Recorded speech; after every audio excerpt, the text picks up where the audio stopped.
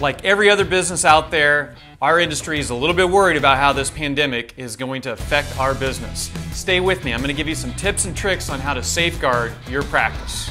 Hi, my name is Jeremy Smith. Over the last 15 years, I've been an agent, a manager, an owner operator of a brokerage, and for the last seven years, a business coach, traveling the country and helping agents and agency owners grow their practice. Stay with me because I'm going to try and help you grow yours. If you're familiar with YouTube, then you know the game. Please like and subscribe and ring the bell.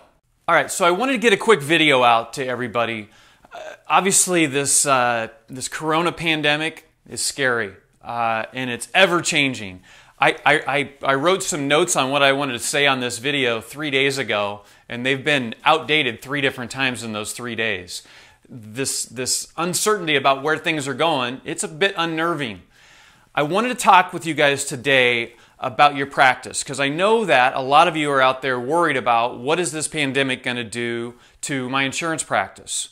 We may or may not get hit as hard as per se uh, you know the airline business or other service businesses, but it's going to probably affect our business. I'm already hearing from agents around the country that it's getting harder and harder to get in front of clients, to get in front of prospects, especially uh, those of you that might be doing seminars, to get in front of people in group seminars or group settings is getting harder and harder. So I wanted to take a few minutes and I want to give you guys some best practices that I'm hoping will help you a little bit as we go through this unforeseen pandemic that we're about to go through. I've broken this up into talking about things that those of you that are new, agents that aren't super established, uh, things that you can do uh, to help yourself and your practice as you go through this. And I've broken into the other group of those of you that are more established, that you've got big books of business, you've got lists of clients to talk to, and hopefully take some pressure off of this scare thing of how is this going to affect my business? So let's jump into this. Let's talk for a second, and first most, let's talk about the agents that are new to the business, that you don't have big books of business, okay?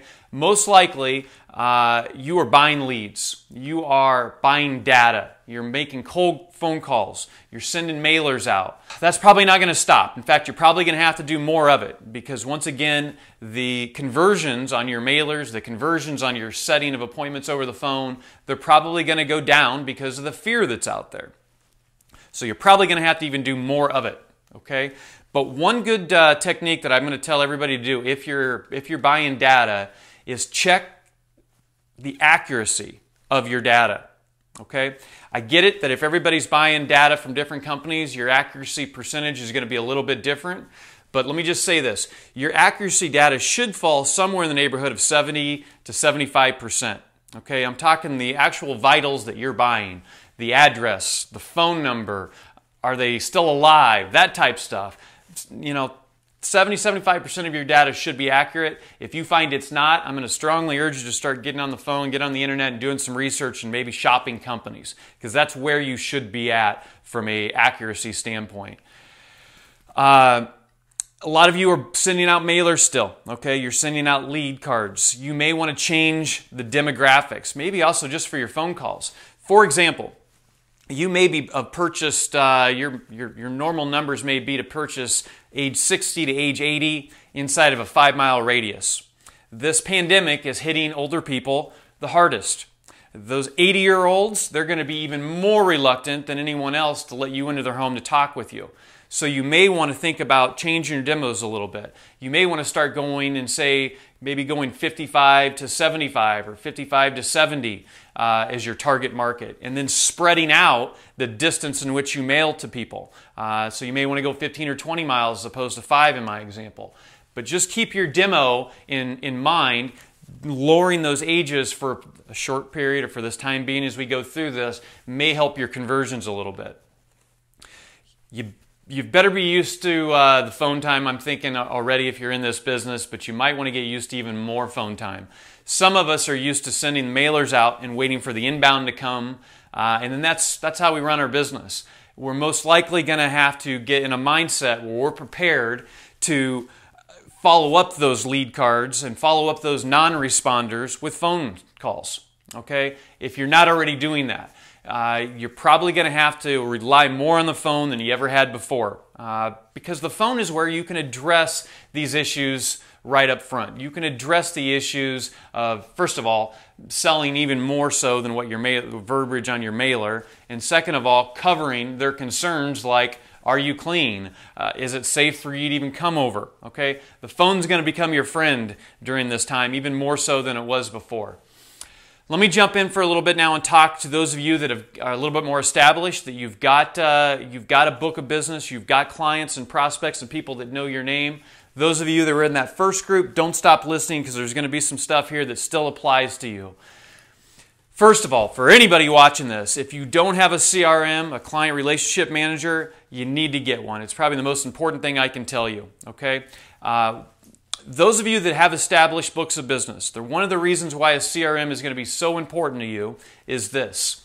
The reason why, one of the reasons why, it's going to be harder for us to get in front of prospects and clients right now than it was yesterday is because of trust. You know, overall trust, but trust that we're not going to get them sick.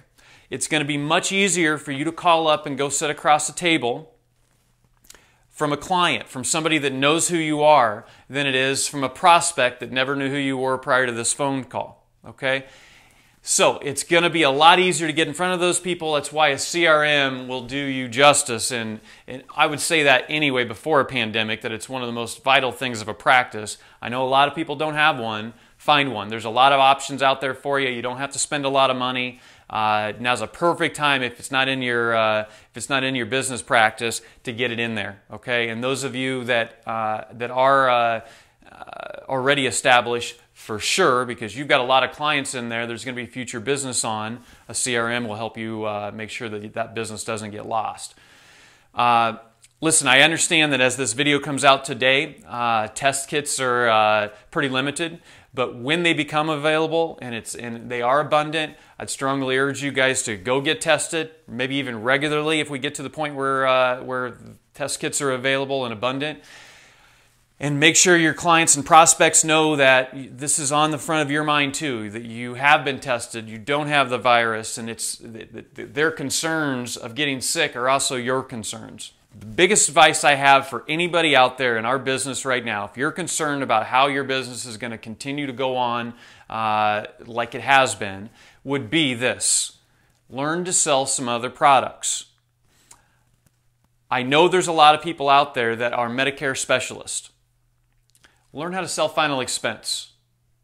I know there's a lot of people out there that are final expense specialists and have books of business that all they've sold is final expense.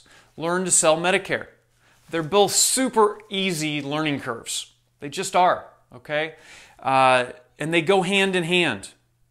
So, those of you that have sold all of your clients' Medicare supplements and saved them money, you want to do something with that premium, go fix another need, another liability that they have, okay? Rather than continuing to try and plow a new field and find new prospects. There's other products too cancer, uh, dental hearing and vision, stroke, heart attack all of those things go hand in hand with our clientele or those people that we've sold Medicare supplements and final expense to. Spend some time to get educated on these other things and go take care of your clients with these other products, okay? Obviously, annuities, long-term care, life insurance, the learning curves are, are longer on those. Hopefully, uh, everybody's in a, you know, at a point where you're thinking about and trying to get educated on those products as well. All of these things are the products that will make you a full service insurance agent. I've said in past videos, and I'll say over and over again, the hardest thing we have to do as insurance agents is to get in front of people. Uh, you want to really be smart, in my opinion, about your business. Learn how to sell all of these products so you don't have to be in front of so many qualified pro, uh, prospects, and you can sell more products to a smaller number of people. Okay? The cross selling thing is here's the deal these other products, these other needs, these other liabilities that your clients are, are looking for, somebody's going to go sell them if you don't. Okay? This is a perfect time to get educated and get out there in front of your clients and sell these other products. If you're not using a fact finder, I know that all of you that uh, I talk with on a daily basis, I'm always pushing this. It is a huge, it's probably the number one thing that I'm a believer that it should be in somebody's sales process. Okay, if you don't have a fact finder, let me know. I'll get you one. All you got to do is subscribe uh, and ring the bell. Uh, I'll get you my fact finder. You can put your logos on it and make it your own. It's such a huge part of a sales process even if we're not in a pandemic, but even especially now, if you're going to go out there and try and start selling other products to your current clients. Last thing I want to say is this there's an elephant in the room on every phone call and every living room right now. This elephant is this coronavirus pandemic. Okay? As you're calling your prospects, as you're calling your clients, and you're trying to, to get in with them to talk about insurance needs, shoot this elephant right up front. Talk to them uh, about this pandemic. Uh, it's a great warm up topic because everybody's talking about it anyway. But let them know that it's top of mind for you. Their safety is top of mind for you. That you've been tested, or you're going to be when that's available. That, that, that you understand that you, you know there's things that need to get done, things you guys need to talk about, but, but it is top of mind for you and making sure that they're staying safe. And here's another little tip too. These clients that you're calling up, make sure that they don't need help from you. You know, you want to make a client for life, maybe going to the grocery store and picking up some things for them, I promise you will set you apart from every agent in the world if you can do little things like that to make sure that there's that their needs are taken care of and that you're thinking about them. Uh, those little things will go miles into making a raving fan out of your database. My last thing is this please stay safe throughout this pandemic. Uh, please, uh, uh, obviously, like and comment and subscribe. That lets us know that uh, we're on the right track. And let me know through the comments if there's other things that you're concerned about as we go through this, that we can get some information out to you to help you uh, during this unforeseen time. Okay? Hope your family stays safe, and we'll look forward to seeing you in our next video.